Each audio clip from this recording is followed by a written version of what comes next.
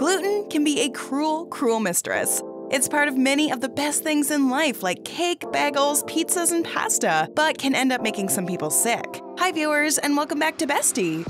Gluten intolerance is a fairly common problem. It's an autoimmune disease that affects about 1% of the population.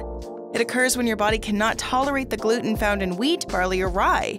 It causes an autoimmune response which damages the lining of the small intestine. More than 55 diseases have been linked to gluten. The main problem is that gluten intolerance remains undetected in most cases. In fact, it's estimated that 99% of the people who have gluten intolerance are never diagnosed. But there are certain signs that can help you determine whether or not you're gluten intolerant, and in today's video, we'll tell you what they are. From anemia, rashes, migraine, fatigue to brain fog, and more. Watch till the end to learn about all of them. Number 1. Bloating and stomach pain. Bloating generally refers to the feeling of the stomach being swollen or full of gas after you've eaten. It's one of the most common complaints of patients who are sensitive or intolerant to gluten. There are a myriad of reasons for abdominal discomfort. If you regularly experience this pain directly after eating gluten without any other apparent causes, you may be intolerant.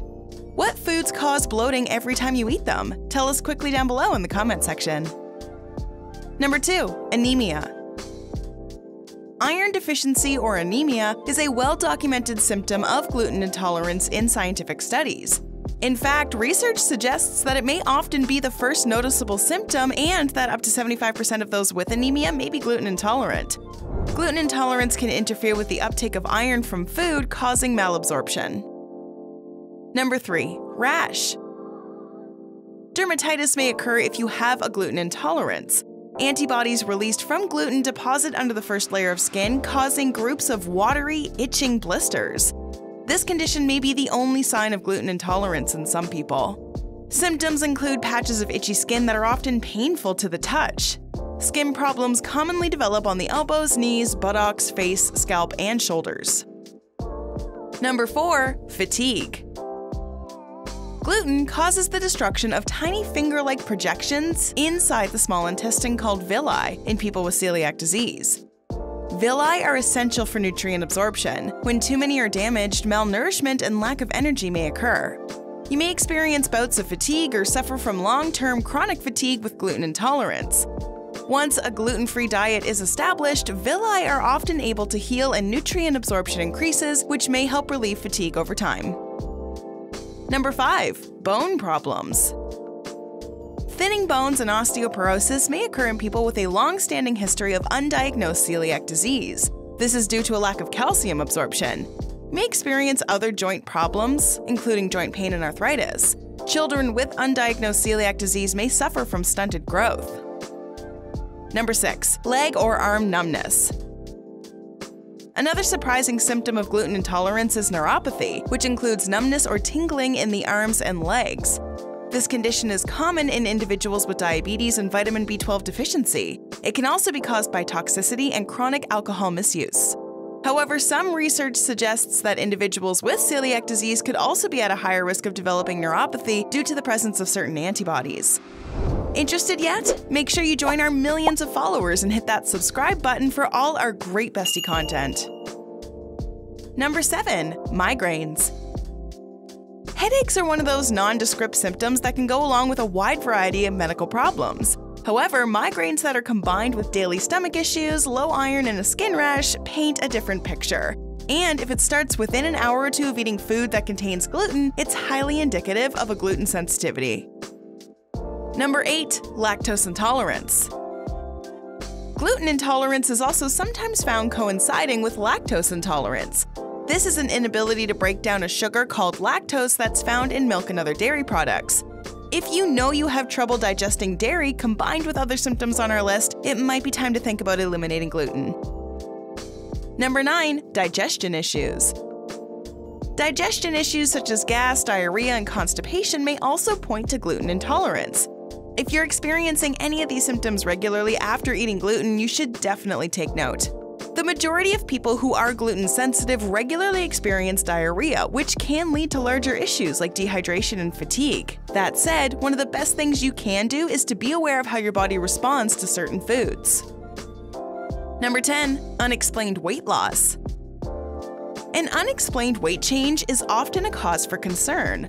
Although it can stem from various reasons, unexplained weight loss is a common side effect of undiagnosed gluten intolerance. In a study of gluten intolerance patients, two thirds had lost weight in the six months leading up to their diagnosis. The weight loss may be explained by a variety of digestive symptoms coupled with poor nutrient absorption. Number 11 Depression and Anxiety. Anxiety disorders are believed to affect approximately 33% of people worldwide. Anxiety involves feelings of worry, nervousness, unease, and agitation. It often goes hand in hand with depression. Individuals with gluten intolerance seem to be more prone to anxiety and depression than individuals without any underlying conditions. In one study, up to 40% of individuals with self reported gluten intolerance stated that they regularly experienced anxiety. They usually feel better with a gluten free diet and want to continue it, even if their digestive systems aren't entirely resolved. That suggests that gluten exposure on its own may induce feelings of depression, regardless of digestive symptoms. Number 12. Dental problems. Discolored teeth, frequent mouth sores, or enamel defects are oral signs of gluten intolerance. In some cases, recurring canker sores may even be the only noticeable symptom, and as many as 25% of sufferers report having them. You may also notice yellow or brown spots on your teeth or pitting and ridges on the surfaces. Children with celiac disease are prone to dental caries or even delayed tooth eruption. Unfortunately, some oral problems, like diminished enamel, are irreversible. But going gluten free can often prevent further damage and, in certain cases, improve the condition of the mouth. Apart from going gluten free, there are many other ways you can improve the health of your teeth. Learn more of what we're talking about by watching 11 Ways to Strengthen Your Teeth. Now back to surprising signs you're gluten intolerant. Number 13 Brain Fog. There is no medical definition of foggy brain, but you likely know how it feels. Being tired even though you just woke up, thoughts coming to you slowly, tripping over your words, and trouble concentrating are a few signs of it. Symptoms may also include forgetfulness, headaches, anxiety, and confusion. On a cellular level, brain fog is believed to be caused by high levels of inflammation and changes to three primary hormones dopamine, serotonin, and cortisol. According to a study, those dealing with chronic fatigue, celiac disease, gluten intolerance symptoms, or other food allergies are most likely to experience this. Number 14, fibromyalgia. Some experts believe fibromyalgia is a symptom, not a disease. Inflammation of the connective tissue is one of the strongest symptoms of gluten intolerance. Essentially, the body thinks gluten is an enemy and will send out antibodies to destroy it. Those antibodies destroy the lining of the stomach and intestines. Just like with joint pain, the inflammation could present itself in any part of the body. If a doctor told you that you have fibromyalgia, try eliminating gluten and see how you feel. Is there a formal way to diagnose gluten intolerance? It is essential to ensure first that a more severe condition such as celiac disease or a wheat allergy is not present if gluten intolerance is suspected. Taking a blood sample, which is then analyzed to detect the presence of antibodies, could indicate celiac disease or a wheat allergy. Once a doctor has ruled out a more serious condition, it can still be difficult for them to confirm whether gluten intolerance is present, as there are no tests for this. The most common method people use to determine if gluten intolerance is present is to reduce or remove gluten and monitor any changes. It can help to keep a food diary and record what foods you're consuming and what symptoms follow. Are gluten intolerance and wheat allergy the same?